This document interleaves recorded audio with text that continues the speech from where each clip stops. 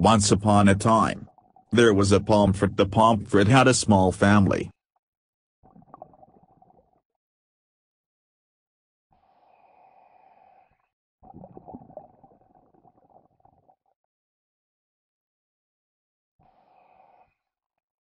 One day the Pomfret went and hunt for her family. Suddenly, she got her prey, it was a shrimp. She came close to it for hunting.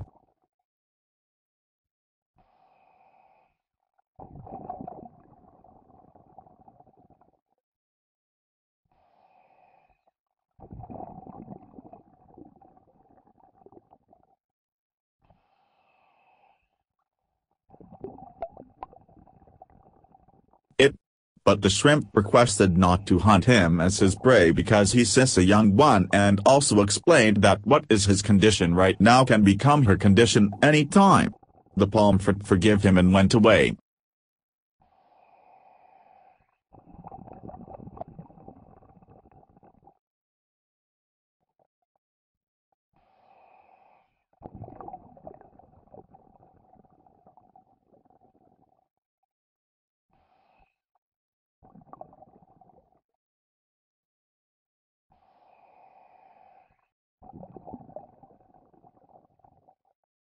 Suddenly, some sound came, then came a shark.